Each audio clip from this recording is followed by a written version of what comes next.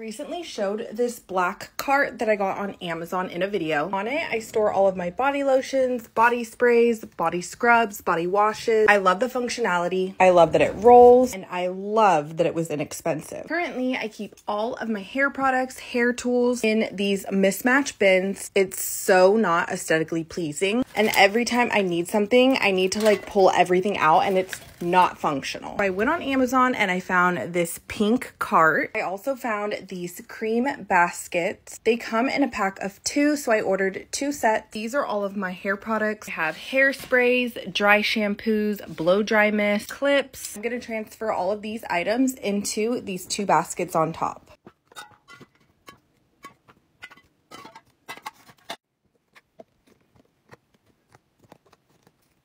I actually have room to squeeze one more of my little basket. I'm gonna put all of the clips in there.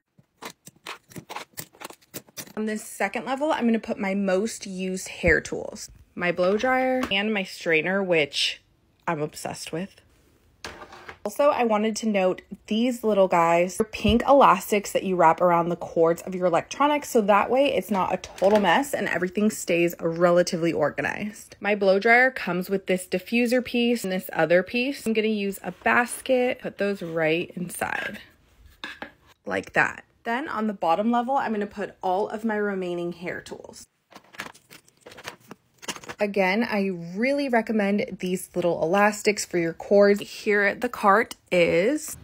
This looks so much more organized. What do you guys think? As always, I will leave all links in my bio.